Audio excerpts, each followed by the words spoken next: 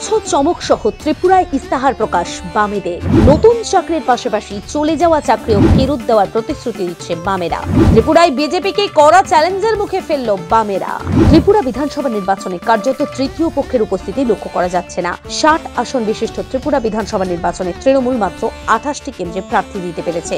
আর তিপ্রামথা বিয়াল্লিশটি আসনে প্রার্থী দিলেও মূলত চোদ্দটি জনজাতি অধ্যুষিত অঞ্চলেই তারা লড়াইয়ের জায়গায় রয়েছে। অর্থাৎ শাসক বিজেপির সঙ্গে মূল লড়াই হতে চলেছে বাম কংগ্রেস জোটে। এই পরিস্থিতিতে শুক্রবার বামেরা তাদের ইস্তাহার প্রকাশ করল। সেখানে আড়াই লক্ষ কর্মসংস্থান, সরকারি কর্মীদের প্রতি বছরে দুবার মহার্ঘ ভাতা বৃদ্ধি, গরিব বয়স্ক নাগরিকদের জন্য মাসিক পেনশন। পুরনো পেনশন স্কিম ফিরিয়ে আনার মতো বেশ কিছু প্রতিশ্রুতিও ইস্তাহারে দেওয়া হয়েছে। উল্লেখ্য, ত্রিপুরায় অনিয়মের অভিযোগে বাম জামানায় এক হাজার তিনশো তেইশ জন শিক্ষকের চাকরি চলে গিয়েছে। তাদের ফের চাকরি দেওয়ার আশ্বাস দেওয়া হয়েছে এই ইস্তাহারে, যা বেশ তাৎপর্যপূর্ণ বলেই মনে করা হচ্ছে। উল্লেখ্য, আদালতের নির্দেশের পরিপ্রেক্ষিতে তাদের চাকরি চলে গিয়েছিল।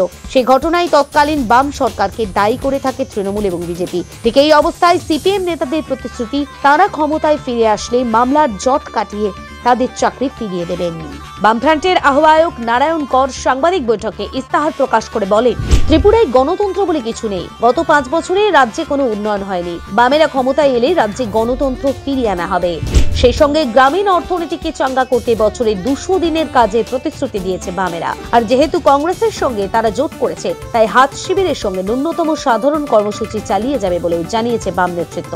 এভাবেই একগুচ্ছ চমক রেখে ইস্তাহার প্রকাশ করে বিজেপিকে কঠিন চ্যালেঞ্জ ছুড়ে দিয়েছে বামেরা। এদিকে নির্বাচনের আগেই লড়াই থেকে কার্যত সরে গিয়েছে তৃণমূল। তারা অর্ধেক আসনেও প্রার্থী দিতে পারেনি। ত্রিপুরা পুরসভা নির্বাচনে তৃণমূল কুড়ি শতাংশের বেশি ভোট পেয়ে সবাইকে চমকে দিয়েছিল আগরতলা পুর নিগমে সিপিএম কে পেছনে ফেলে তারা দ্বিতীয় স্থানে উঠে আসে। কিন্তু গত বছর ত্রিপুরায় চারটি বিধানসভা উপনির্বাচন হয়। সেখানে মুখ থুবড়ে পড়ে তৃণমূল। চারটি কেন্দ্রেই তাদের শুধু জামানত বাজেয়াপ্ত নয়, তৃণমূলের ভোট নেমে আসে দুই দশমিক আট সাত শতাংশে। স্বাভাবিকভাবে এই ঘটনায় হতাশ হয়ে পড়েন ত্রিপুরা তৃণমূলের নেতাকর্মীরা। ঠিক এই পরিস্থিতিতে আঠাশটি আসনে প্রার্থী দিয়ে তারা কতটা লড়াই করতে পারবে তা নিয়ে প্রশ্ন রয়ে গেল। তাই রাজনৈতিক মহলের বিশেষ নজর ছিল প্রধান বিরোধী শক্তি বামেদের ইস্তাহারের দিকে। সেখানে ইস্তাহারে বামেরা আরও জানিয়েছে, তারা ক্ষমতায় আসলে ত্রিপুরায় স্বশাসিত জেলা পরিষদের হাতে আরও বেশি ক্ষমতা তুলে দেবে। ইস্তাহারে একাশি দফা বক্তব্য রাখা হয়েছে। তার মধ্যে ন্যূনতম হল পুলিশের পদোন্নতি সহ নানান সুযোগ সুবিধা প্রদান।